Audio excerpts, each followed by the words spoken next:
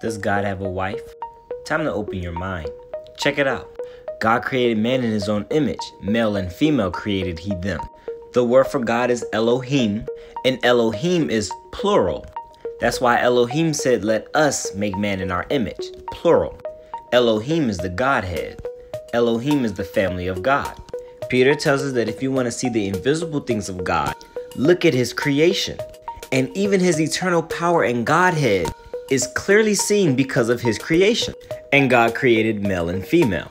In Proverbs 8, wisdom is speaking. The Lord possessed me in the beginning of his way before the works of old. Wisdom is referred to as she, and she is always rejoicing before God. This is the word for rejoicing.